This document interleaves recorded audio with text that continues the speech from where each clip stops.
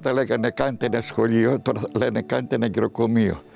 Γιατί τα χωριά μας έχουν, γίνει, έχουν μείνει μόνο γέροντες.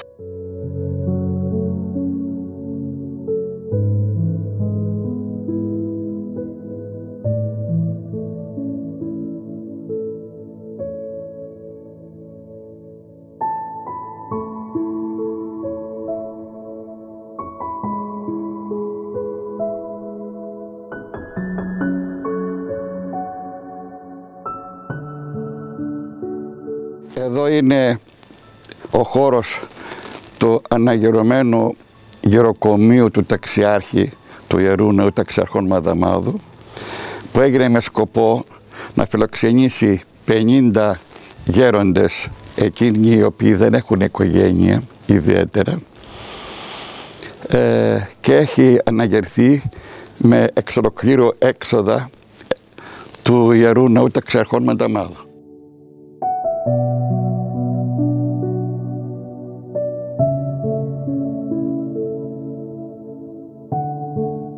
Σε ένα μήνα θα μας το παραδώσουν οι εργολάβοι. Θα χρειαστεί ακόμα να, να γίνουν διαμόρφωση οι άβλοι χώροι, να επιπλωθεί και μετά να λειτουργήσει, να σχηματιστεί επιτροπή της διοικήσεως.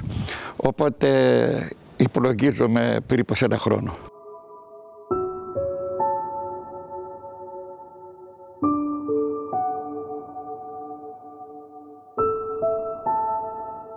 Είναι 18 μεγάλα δωμάτια, έχει και μικρά. Η Σόγγιο είναι πολλά, πολλά δωμάτια που είναι οι χώροι για λειτουργική χώροι. Είναι το μαγειρίο, είναι οι αποθήκες, είναι οι ματοθήκες κλπ. κλπ.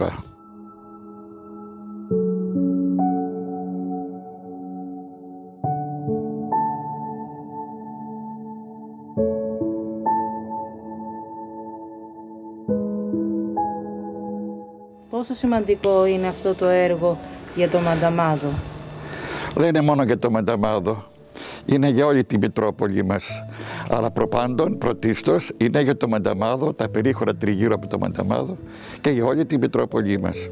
Αναγκαίο είναι διότι όταν θα νιώσεις γέρος, χωρίς παιδιά, χωρίς να μπορείς να αυτοεξυπηρετηθείς, τότε θα νιώσεις πόσο ανάγκη έχεις μια θέση σε ένα γυροκομείο. Thank you.